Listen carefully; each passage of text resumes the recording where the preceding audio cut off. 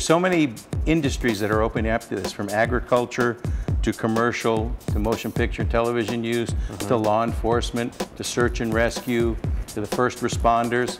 So it's just almost an unlimited market that's opening up out there. So mm -hmm. that's the reason that we really encourage everyone to join the AMA so that we have that advocate down at our level. And there, there are a couple other agencies that you should be aware of as well. It's the Association of Unmanned Vehicle Systems International, which has been in existence for about 43 years, since 1972. They're also a big advocate of all unmanned systems from ground to aerial to marine. And then the IACP, which is the International Association of Chiefs of Police, have a code of conduct for operating unmanned aerial systems for law enforcement applications. So be aware of all of those, the Chiefs of Police Organization, the AUVSI, and the AMA. As well as the, in the motion picture and television industry, the producers and directors uh, guilds all have training programs for uh, safety equipment on sets. For any piece of equipment used on a motion picture or television set, all have training programs for. Currently, what we're categorized under is um, uh, miniature helicopters with cameras. Mm -hmm. But right now there is nothing in existence for small unmanned aerial vehicle systems for cinematography or videography. So we want to be safe.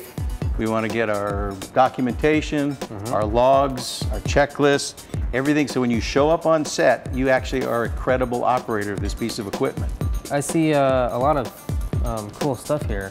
Can you tell us a little about a little bit about some of the recent projects that you've been doing? Well, we actually built a fairly large HEX, which is a six-rotor uh, helicopter system that had to be foldable and compactable for a team that's going down to document the new Panama Canal construction. So they wanted an aircraft that could break down and go in a soft backpack that they could transport easily down in that environment.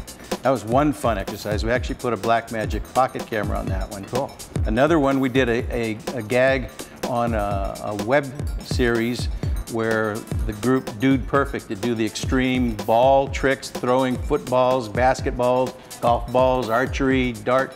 They were they wanted a, a basketball recovery vehicle, so we created awesome. with one of our larger quads uh -huh. a device to go down and pick up a basketball that they'd thrown off the roof of a building and bring it back to them so they could continue to throw it off the roof. So Dan, what's Friday Fly Day? We initiated this basically as an ad hoc kind of informal get together for guys to show up on Fridays mm -hmm. that maybe wanted to have their uh, aircraft checked out mm -hmm. or maybe their autopilots updated, especially with the DJI Naza systems. Yeah. Have the firmware, the software, all the flight parameters checked out.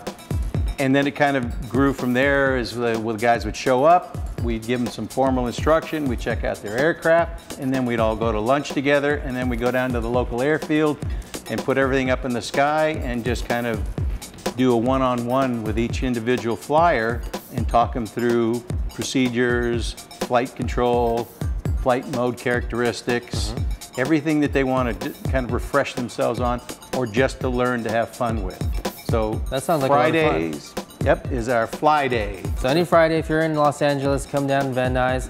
Um, and come check out Super Pro Aerial. Everybody's welcome. If you have nothing to fly, we'll bring something for you to fly.